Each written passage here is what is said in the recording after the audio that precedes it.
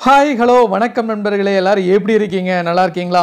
இன்னைக்கு நம்ம சூப்பரான ஒரு லேட்டஸ்டான அப்டேட் பற்றி தான் பார்க்க போகிறோம் அது என்னன்னு பார்த்தீங்க அப்படின்னா ரெண்டாயிரத்தி பதினொன்றாம் ஆண்டுக்கு முன்பு ஆசிரியர்களாக பணியில் சேர்ந்தவங்களெல்லாம் பதவி உயர்வு பெற வேண்டும்னா ஆசிரியர் தகுதி தேர்வில் கண்டிப்பாக தேர்ச்சி பெற்றிருக்க வேண்டும் அப்படின்ட்டு சென்னை ஹைகோர்ட்டு அதிரடியாக உத்தரவிட்டுள்ளது. அண்ட் ஆல்சோ ஃபர்தராக என்னென்ன டீட்டெயில்ஸ் இதில் சொல்லியிருக்காங்க அப்படிங்கிற முழு விவரத்தை தான் நாம் இன்னைக்கு நம்ம வீடியோவில் பார்க்க போகிறோம் சப்போஸ் இப்போ தான் ஃபஸ்ட் டைம் நம்ம சேனலுக்கு வரீங்க அப்படின்னா மறக்காமல் மறக்காமல் நம்ம சேனலை சப்ஸ்கிரைப் பண்ணிடுங்க கூட பெல்லைக்கனை கிளிக் பண்ணுங்கள் அப்படின்னா தான் இது மாதிரியான இன்ஃபர்மேட்டிவ் வீடியோ உங்களால் ரெகுலராக பார்க்க முடியும்.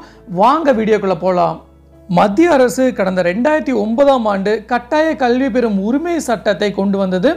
இதன்படி பார்த்தீங்கன்னா ஆசிரியர் தகுதி தேர்வில் தேர்ச்சி பெற்றவர்கள் மட்டுமே இடைநிலை ஆசிரியர்களாக நியமிக்கப்பட வேண்டும் என்று சட்டம் வந்தது. இந்த சட்டத்தை தமிழ்நாட்டில் அமல்படுத்தி கடந்த ரெண்டாயிரத்தி பதினொன்றாம் ஆண்டு முதல் ஆசிரியர் தேர்வு வாரியம் மூலம் ஆசிரியர் தகுதி தேர்வை தமிழ்நாடு அரசு வந்து நடத்தி வந்தாங்க.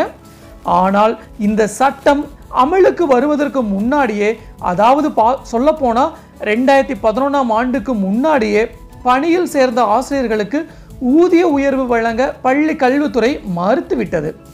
இந்த ஆசிரியர்கள் எல்லாமே தகுதி தேர்வில் தேர்ச்சி பெறவில்லை என்று காரணமும் காட்டியிருந்தாங்க. இதை எதிர்த்து ஆசிரியர்கள் பலர் சென்னை ஐகோர்ட்டில் வழக்கும் தொடர்ந்தாங்க.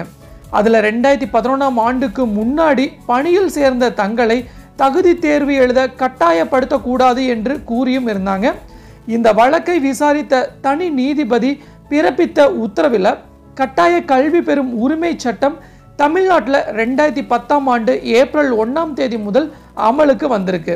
இந்த சட்டத்தில் பிரிவு இருபத்தி மூணின் படி இந்த சட்டம் அமலுக்கு வரும்போது ஆசிரியர்களாக பதவியில் உள்ளவர்கள் ஆசிரியர் தகுதி தேர்வில் தேர்ச்சி பெறவில்லை என்றால் ஐந்து ஆண்டுகளுக்குள் தேர்ச்சி பெற்றிருக்க வேண்டும் என்று கூறியிருந்தது.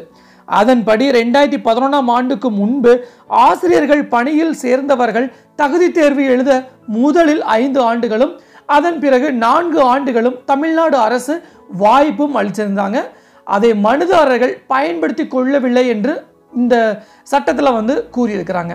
மேலும் அந்த உத்தரவில் இந்த தகுதி தேர்வில் தேர்ச்சி பெற்றவர்கள் மட்டுமே ஆசிரியர் பணியில் இருக்க முடியும். தேர்ச்சி பெறாதவர்கள் ஆசிரியர் பணியில் தொடர முடியாது.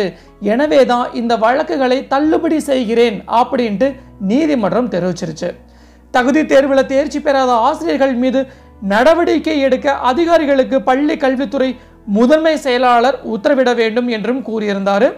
இந்த உத்தரவை எதிர்த்து ஏராளமான ஆசிரியர்கள் சென்னை ஐகோர்ட்டில் மேல்முறையீடு செய்தனர். இந்த மேல்முறையீட்டு மனுக்களை எல்லாம் நீதிபதிகள் ஆர். மகாதேவன் முகமது சபீக் ஆகியோர் விசாரித்தனர். அப்போது அரசு தரப்பில் கூடுதல் அட்வொகேட் ஜெனரல் சிலம்பண்ணன் மனுதாரர்கள் தரப்பில் மூத்த வக்கீல்கள் நளினி சிதம்பரம் ஜி. சங்கரன் உள்ளிட்டோர் ஆஜராகி வாதிட்டாங்க. அனைத்து தரப்பு வாதங்களையும் கேட்டறிந்த நீதிபதிகள் இந்த மேல்முறையீட்டு வழக்குகளின் தீர்ப்பை நேற்று வழங்கினாங்க.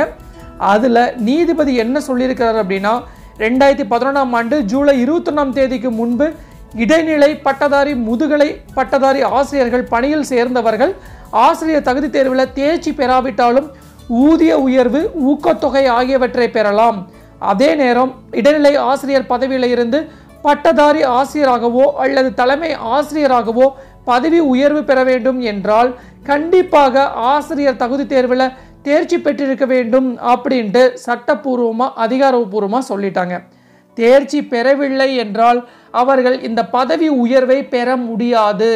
அதே சமயம் ரெண்டாயிரத்தி பதினொன்றாம் ஆண்டு ஜூலை இருபத்தி ஒன்பதாம் தேதிக்கு பின்னர் இடைநிலை ஆசிரியர்களாக பணியில் சேர்ந்தவர்கள் கண்டிப்பாக ஆசிரியர் தகுதி தேர்வில் தேர்ச்சி பெற்றிருக்க வேண்டும். ஆசிரியர் தகுதி தேர்வு நேரடி நியமனத்துக்கு மட்டும்தான். பதவி உயர்வுக்கு தேவையில்லை என்று கடந்த ரெண்டாயிரத்தி இருபதாம் ஆண்டு ஜனவரி முப்பதாம் தேதி தமிழ்நாடு பள்ளி கல்வித்துறை பிறப்பித்த அரசாணையை ரத்தும் செய்கிறோம். பட்டதாரி ஆசிரியர்கள் பதவி நியமனத்துக்கு மட்டுமல்ல பதவி உயர்வுக்கும் ஆசிரியர் தகுதி தேர்வு அவசியமாகும் அப்படின்ட்டு அதிகாரப்பூர்வமாக சொல்லிட்டாங்க. அண்ட் ஆல்சோ ரொம்ப முக்கியமானது பார்த்தீங்கன்னா பதவி உயர்வு இல்லாமல் ஆசிரியர் பணியில் தொடர்வதற்கு இந்த ஆசிரியர் தகுதி தேர்வு தேர்ச்சி பெற வேண்டிய அவசியம் இல்லை அப்படின்னு மென்ஷன் பண்ணிட்டாங்க.